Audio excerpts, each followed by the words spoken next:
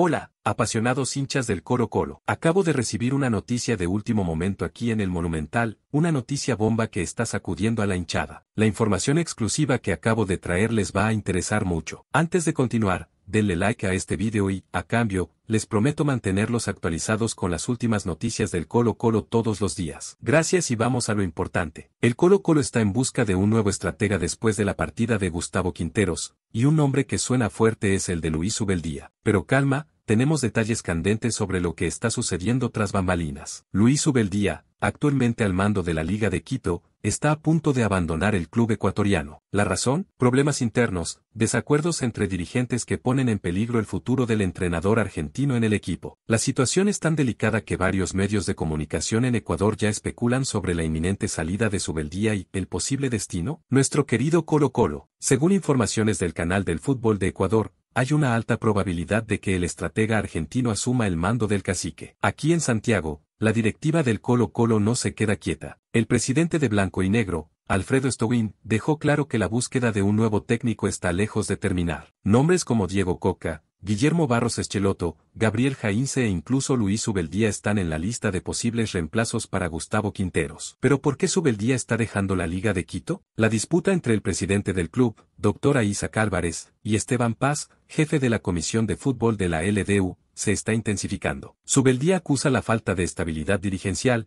y esta inestabilidad podría abrirle las puertas al Colo Colo. Nuestras fuentes indican que las conversaciones entre Subeldía y la dirección de la Liga de Quito se están volviendo cada vez más complicadas, y las posibilidades de llegar a un acuerdo están casi en el mínimo. La divergencia entre el presidente y el líder de la Comisión de Fútbol está relacionada con desentendimientos después de la conquista de la Copa Sudamericana. Subeldía, en una entrevista reciente, expresó su afecto por el club ecuatoriano, pero destacó que su permanencia está vinculada a la continuidad de Esteban Paz en la comisión. Si Paz se va, la situación cambia drásticamente para el entrenador argentino. ¿Y ustedes, hinchas, qué opinan de esta posible llegada de Luis Ubeldía al Colo Colo? ¿Será la pieza que falta para llevar al cacique de vuelta a la cima? Comenten abajo, queremos escuchar su opinión. Estén atentos para más actualizaciones y noticias exclusivas aquí en su canal de información del Colo Colo. Hasta la próxima.